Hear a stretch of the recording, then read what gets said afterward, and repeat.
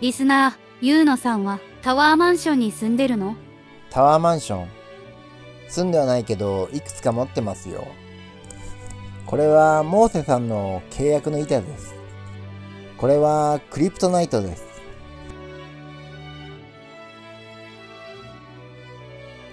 母のタワーマンションがこの近くに一つあるから見に行きましょう。リスナー、タワマンなんて住みやすそうで素敵ですね。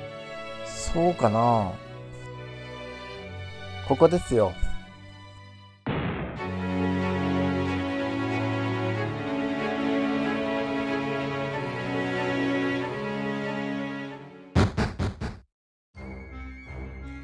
タワーマンションなので階段が結構きついですよ。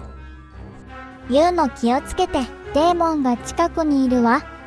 ノアの大洪水の後、人類がバビロンに天に達するほどの高塔を建てようとしたのを神が怒り、それまで一つであった人間の言葉を混乱させて互いに通じないようにした。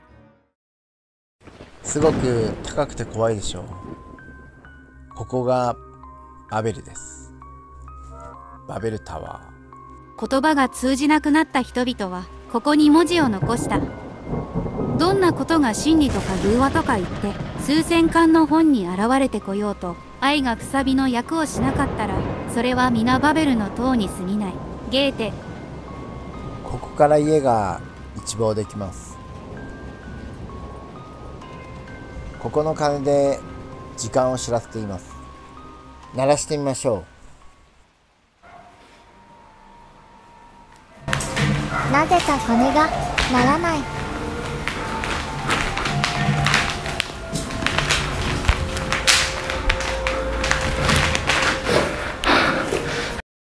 金が鳴らないよ。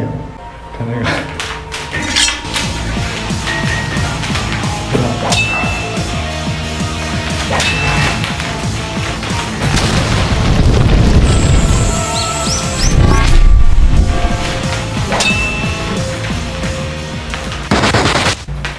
ダメだって。やっぱり。ならないこれ。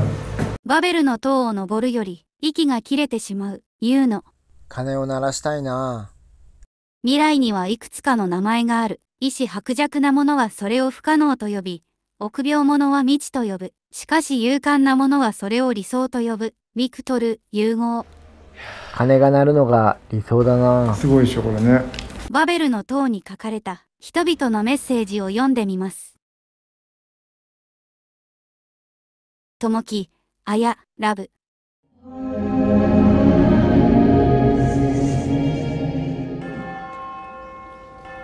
奇跡が起きました。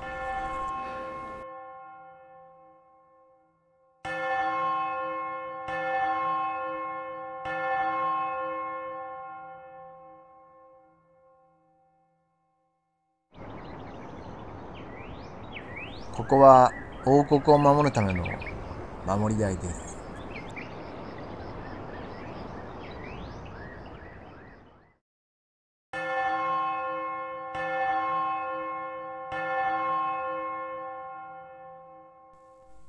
命を奪うのは力じゃない。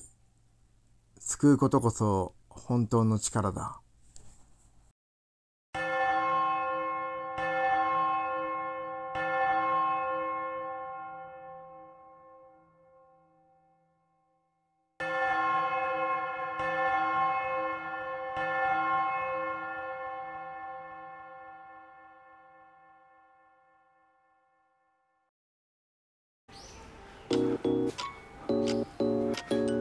Thank